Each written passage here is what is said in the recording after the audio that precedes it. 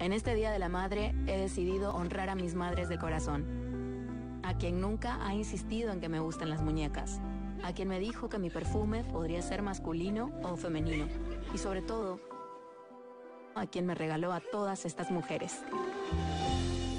Celebra a tu madre y a todas las madres de tu vida. Día de las Madres Natura. En cada regalo, un mundo de afecto.